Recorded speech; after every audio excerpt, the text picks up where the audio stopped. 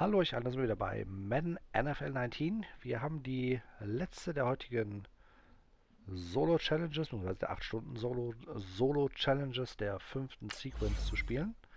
Äh, wieder ein Full Game, aber nur 2 Minuten pro Quarter. Diesmal geht es gegen die Kansas City Chiefs, gegen Patrick Mahomes. Oh, und wir treten auswärts an in Arrowhead. Ähm, uiuiui, ich habe gerade schon gesehen, Weather Windy. Das wird eine sehr interessante Sache. Da müssen wir wirklich mal schauen, inwiefern wir da ähm, wirklich gut passen können. Ansonsten, wenn es wie windig das dort sein wird, äh, werden wir über unser Rushing Game arbeiten, also mit Eddie George und dort dann versuchen, die Yards entsprechend gut zu machen.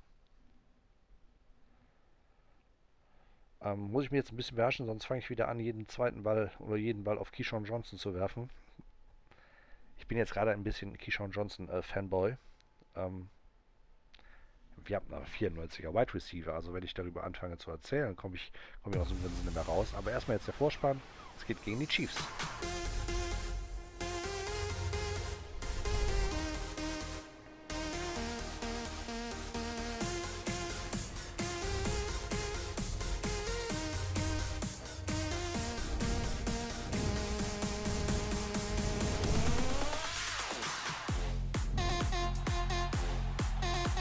Eddie George, Shen Sharp, Sean Lee.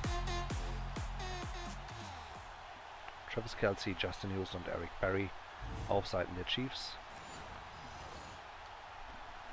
Kein Patrick Mahomes, den habe ich noch als Karte, die normale ist, glaube ich ein 79er, also noch ein Gold Player, den man aber entsprechend aufwerten kann. Deswegen habe ich den auch mir gut zurückgelegt, der also in den Power-Ups reinkommt. Ach du Heilige.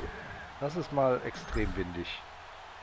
Ähm, wir haben Gegenwind, die Chiefs haben Rückenwind. Der Ball, der floppt schon runter an der, glaube die 23-Yard-Linie.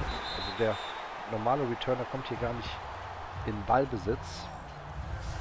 Und das ist auch nicht immer gut, wie wir gerade gesehen haben, weil ähm, dementsprechend kurz war der Return jetzt auch.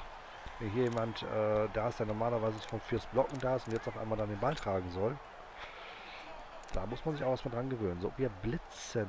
Das ist ja mal interessant. Gegen Patrick Mahomes, gegen diese explosive Passing Offense, setzen wir auf den Blitz. So. Wir sind auf dem End, in dem Fall jetzt auf Crawford und versuchen Patrick Mahomes unter Druck zu setzen.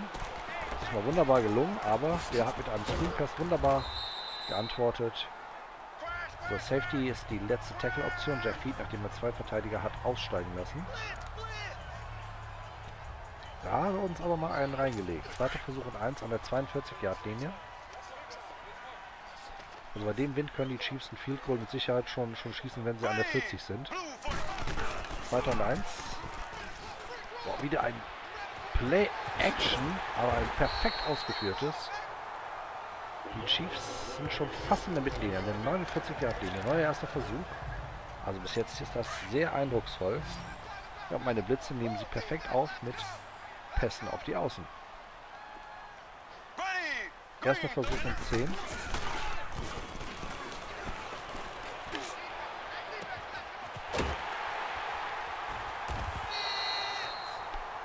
Patrick Mahomes nimmt uns gerade auseinander. Eine 43 Yard Reception auf Travis Kelsey auf den auf den Tight End. So, sie steht an der 8 Yard Linie.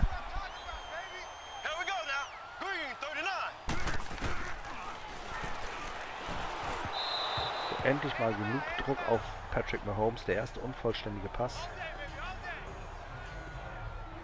Mann, Mann, Mann. Da, da, da machen sie aber echt mächtig Druck. So, wir nehmen den Under Smoke. Wir blitzen weiter. Second and Goal an der 8. Noch 6 Sekunden im ersten Quarter zu spielen.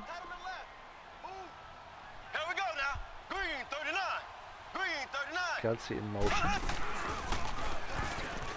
Oh, Mahomes will selbst laufen. Das ist aber sportliche ein Option Play. Das war das Ende des ersten Quarters. Äh, der Chiefs Motor ist jetzt ein bisschen in Stocken geraten, Gott sei Dank. Es wäre auch sehr erschreckend gewesen, wenn es die ganze Zeit so weitergegangen wäre. Äh, wir nehmen ein, eine Cover 4 in der Palms-Variante an der 8-Yard-Linie. Oh Gott. War das ein... Ich glaube eher, das war ein Start der Offense. So ist es.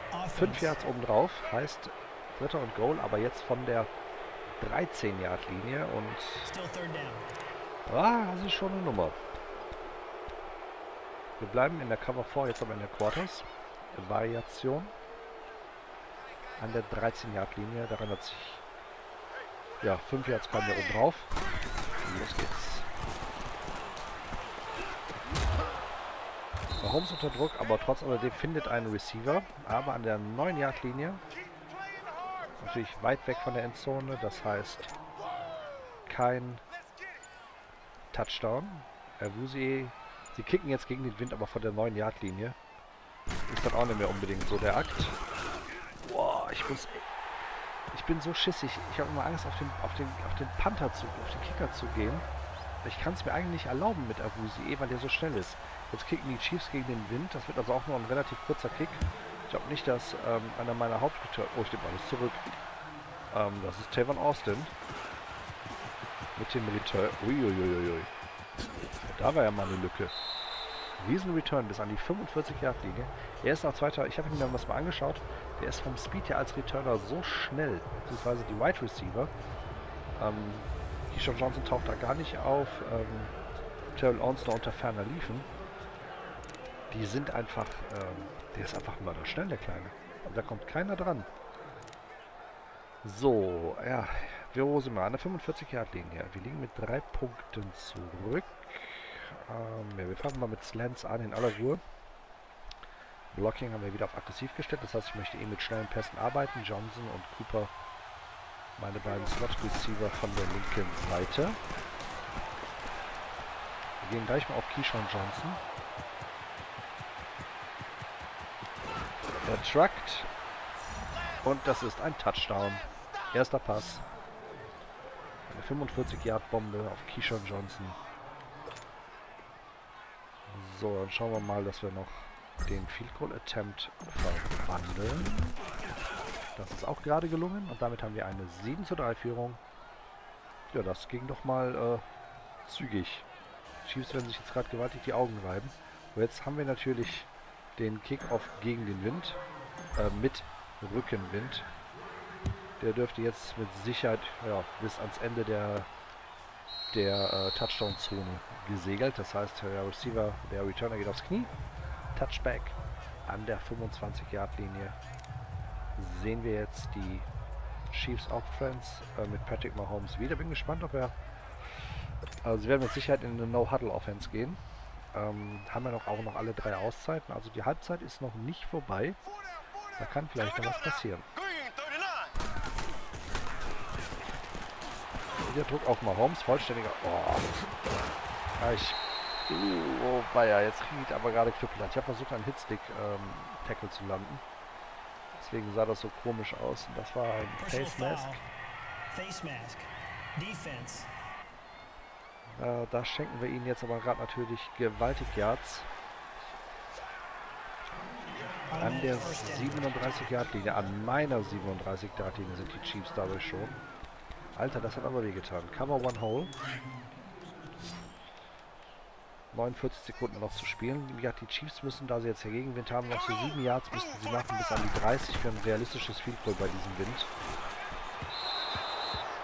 Den hat er aber mal übel überworfen. Patrick Mahomes, der erste richtig schwache Pass von ihm. Zweiter und 10. Schauen wir, ob wir noch einen Blitz irgendwo haben. Ach, nee, haben wir nicht. Zweiter und 10. So. Wir sind wieder auf dem End, wieder auf Crawford in dem Fall.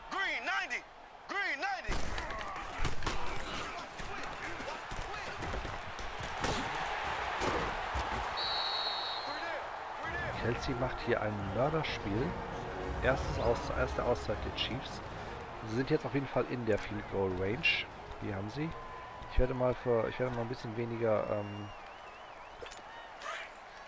die Man-to-Man-Coverage spielen. Das ist, glaube ich, gegen einen großen Tight End. Da habe ich äh, enorme Differenzen, wenn ich das sagen kann. Also da, der ist für mich nicht kontrollierbar.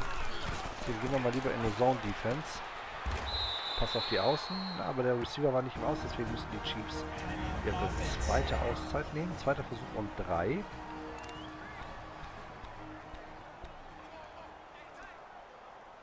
Bam, bam, bam, bam, nehmen wir die Temper 2. 2. und 3 an der 14-Yard-Linie. Eine Auszeit haben die Chiefs noch. Die werden sie mit Sicherheit benutzen, nachher um ihre Field Goal Unit, falls sie keinen Touchdown erzielen sollten, aufs Feld zu holen. Vollständiger Pass über die Mitte. Knallharter Tackle hier von Ryan Shazier. Da kann man auch mal fummeln. Tun sie aber nicht. First and Goal. Zeit läuft weiter. Ja, da sind sie in der Endzone. Ja, das wird ein härteres Brett hier. Wir haben hier Chiefs mit einer sehr, sehr starken Offense. So, der PT. Ich bin jetzt mal auf den Kicker gegangen und siehe an, mit Abusi E können wir uns das erlauben. Wir haben den PET geblockt. Das ist bei so einem knappen Spiel echt mal wichtig. Die Chiefs, wie gesagt, kicken jetzt gegen den Wind. Wird also wieder ein kurzer Kickoff werden. Ja, dann bekommt jetzt mein Fullback den Ball. Der kann zumindest den Ball tragen, aber ist natürlich nicht der Allerschnellste. Dafür ist ein Fullback. An der 37 Yard. Wir haben Rückenwind. So, gib mir noch irgendwas, womit ich weiterwerfen kann. Wir nehmen den Dick and Go. Owns auf der linken Seite und Sharp meinen möglichen Receiver, die wir auf lange Routen schicken. Los geht's. Ich gehe auf Terrell Owens. Der hat den Ball, das gibt's ja gar nicht. Der ist immer noch unterwegs und ist in der Endzone. So, ich habe zwei, zwei Offensivspielzüge, glaube ich, gemacht.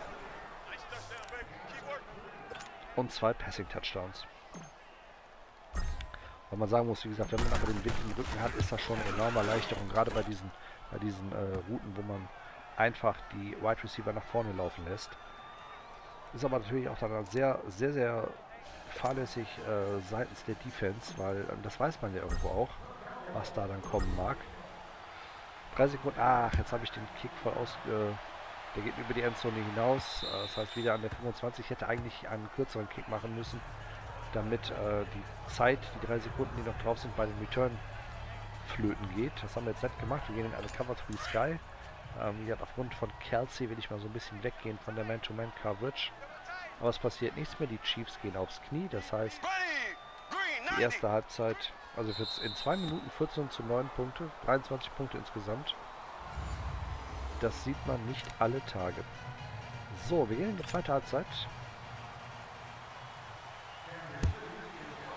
Der Kick-Off bis in die Endzone. Auf Dion Sanders. Wir sind immer noch unterwegs. Ah, hätte ich da noch einen Vorblock bekommen. Wären wir durch gewesen, aber so sind wir bis an die 48 gekommen. So. Ähm, wir nehmen hier den Thailand Drive. Wir haben jetzt Gegenwind. Also auf Johnson, der ist da eventuell wieder im 1 gegen 1, aber jetzt bei Gegenwind würde ich da ungern hinwerfen. Ein kurzer Pass auf Swain, vollständiger Pass. Wir sind über die Mittellinie an der 48-Yard-Linie. 4 Yards Raumgewinn. Wunderbar. Genau das ist das, was ich möchte, wenn wir jetzt gegen den Wind spielen paar schöne kurze Pässe, Wide Receiver Drive. Owens geht hier jetzt gleich in Motion. Sharp ist meine Sicherungsoption. Los geht's.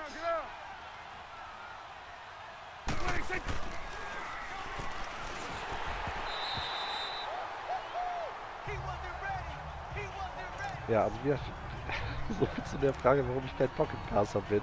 Ich bin wirklich relativ, relativ lange stehen geblieben. Und der hat mich dermaßen weggenatzt. Ich hatte Glück, dass es kein Sack war. Owens und Cooper meine Anspielstation. Los geht's. Schneller Pass. Ja, der ist schon wieder unterwegs. Wir sind in der Endzone. Das gibt's ja gar nicht. Zweiter Touchdown von Terrell Owens. Diesmal waren es 48 Yards. Also wer jetzt gerade hier an das Spiel der Rams äh, gegen die Chiefs denkt, ähm, ich erkenne gewisse Parallelen. Wenn das so weitergehen würde, ähm, ich bin gespannt, ob die Chiefs jetzt auch wieder scoren werden. Wir kicken jetzt gegen den Wind, wird also ein kurzer Kick.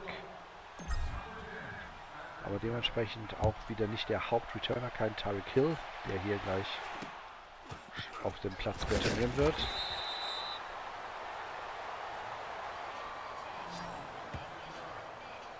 Ein, auch, auch hier ein Fullback, genauso wie bei mir eben. Und damit kannst du ja nicht unbedingt so die Riesen-Returns äh, hinlegen. Overstorm Brave, wir blitzen.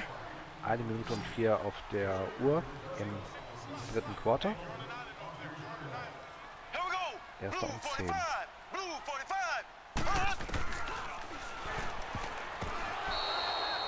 Sehr schön, Ryan Shazier reißt hier die Arme hoch. Nein, Sanders war es, Entschuldigung.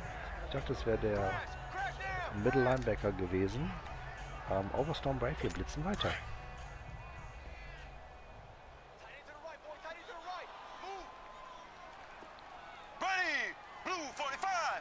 Zweiter Versuch und 10. Wunderbar das Laufspiel von Kareem Hunt. Direkt unterbrochen. Dritter und lang. Schauen wir mal, was wir da haben. Wir gehen in die Cover 3 hinein. So, Crawford wird wieder von außen kommen. Und 13. Ich bin mal gespannt. Schon wieder ein Sack verpasst. Schon wieder. Eieieiei. Habe ich irgendwann mal... Ich habe keine Lust mit Linebacker zu spielen. Ich bin ein Ender. Ich höre schon hier, spiele auch ein Defense Tackle. Da kann ich, da kann ich wenigstens keinen Fehler machen. Ähm, ist was Wahres dran. Ist mir aber zu langweilig. Dann ärgere ich mich lieber darüber, wenn ich mal wieder am Quarterback vorbeisense. So, was haben wir da? Ähm, wir gehen in den 2. Hat jetzt ausnahmsweise wieder aufgrund eines, eines Kelseys und eines Mahomes bin ich gerade mal so ein bisschen weg von der Man-to-Man-Coverage. Die letzten zwei Minuten brechen an. Wir sind also schon im 2 ja, Two-Minute-Warning haben wir ja nicht, da wir nur zwei Minuten pro Halbzeit haben. Ähm, zweiter Versuch und 11, No-Huddle-Offense jetzt schon der Chiefs.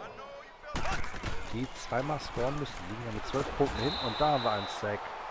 Deswegen spiele ich es halt doch so gerne, weil ab und an kommen wir dann doch mal durch. Dritter und 15, Temper 2 von der eigenen 43 Yard Linie. Das wird ein sehr interessanter Versuch. Da war ich aber schon wieder mal extrem... Wow. schon gesehen, ähm, wie wir noch versucht haben, ich glaube, glaub, mein Safety Xavier Woods war es noch, von hinten den Ball frei zu schlagen. Ähm, das ist halt dieses Strip Aggressive. Das kann halt auch mal klappen. Schneller Pass. Schöner Hit hier von Sanders auf Karim Hunt. Zweiter Versuch und 8 von der 33 Yard Linie. Wir nähern uns schon der letzten Minute in diesem Spiel. Vollständiger Pass. Receiver geht ins Aus. Genau richtig gemacht. So spielt man, ähm, wenn man seine Auszeiten noch sparen muss und möchte, weil das müssen die Chiefs. Also sie müssen ja zwei, zweimal scoren. So versuchen wir beim ersten Drive möglichst keine Timeouts zu verblasen.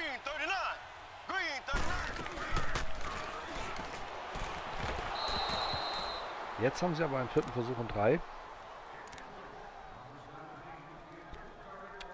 Wir nehmen den Corner Blitz, das ist gar keine schlechte Idee. Sie hätten jetzt natürlich auch schon einen Feed Code probieren können. Das hätte ihnen gar nichts gemacht, ich alles zurück. Sie brauchen jetzt zwei Touchdowns bei 12 Punkten. Mein Gott. Mutterseelen alleine. War wirklich Mutterseelen alleine. Wir bleiben beim Corner Blitz 3 jetzt in 40 Sekunden des Spiels laufen.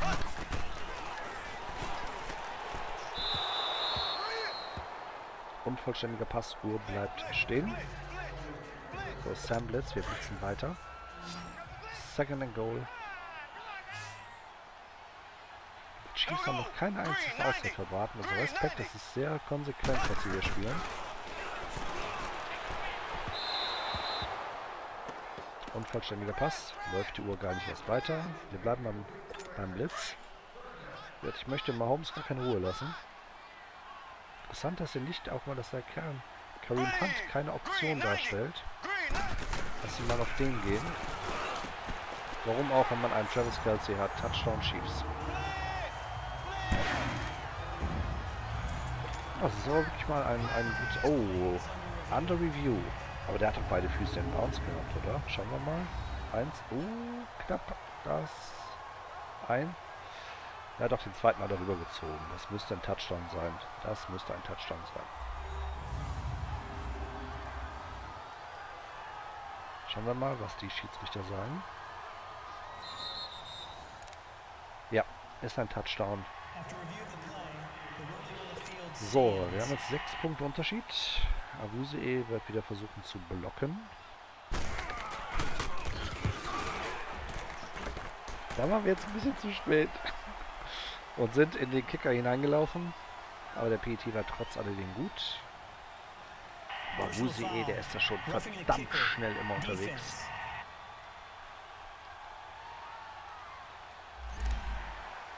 So, es wird einen Onside-Kick geben. Wir stellen unser Hands-Team aufs Feld. Gott sei Dank, wir haben den Ball. Drei Auszeiten haben die Chiefs noch. Die werden sie jetzt natürlich nehmen, um ähm, uns von einem weiteren Score abzuhalten. So, wir laufen. Wir ziehen ihnen jetzt erstmal die, die Timeouts aus der Tasche. Wir laufen aber über die linke Seite, über Eddie George. Und los geht's. Schöner Block hier auch von Kishon, von äh, Johnson. Das dürfen wir auch nicht vergessen, habe ich gleich dann gedacht. Ich weiß gar nicht, wie hoch dem sein Blocking-Wert ist, den muss ich mir nachher mal anschauen. Ähm, weil damit kann er uns natürlich auch extrem helfen. So, wir laufen auch wieder über die Außen, laufen über die linke Seite. Da blocken jetzt beide, beide Wide Receiver uns und ja, schon wieder. Wunderbar. Das hat gereicht, damit, damit der, ähm, der Cornerback nicht aus dem, aus dem Block herauskam und schon äh, haben wir einen First Down. Oh, ich glaube, da kriege ich viel Spaß mit. Weil gerade, ich laufe ja auch immer noch gerne über die Außen. Bin immer sehr gespannt, wie hoch Ezekiel Elliott sein wird, ähm, wenn er aufgewertet wird. Durch die, durch die Blitzkarte. Oh, ein Flag heißt, das ist ein Holding. Wir haben uns zwar irgendwie über die First Down Markierung ähm, gedrängt, aber das hat nicht gereicht weil es ein Holding war. Das heißt, wir gehen wieder zurück, starten beim ersten Versuch und 10, heißt es jetzt zweiten Versuch, erster Versuch und 20. So, die letzten 6 Sekunden. Die Chiefs haben noch eine Auszeit, die sie nehmen können. Wir laufen über die Innenseite. Kommt nochmal ein Blitz, aber das ignoriere ich jetzt einfach mal. So, zwei Sekunden noch auf der Uhr. Lauf über die Außen, zweite und 19. So. Wir laufen über die linke Seite. Keyshawn Johnson, der hält den Block. 1 gegen 1 die ganze Zeit, das gibt's nicht. Das war's, wir haben gewonnen, 21 zu 16, Challenge erfolgreich, bis zum nächsten Mal, ciao.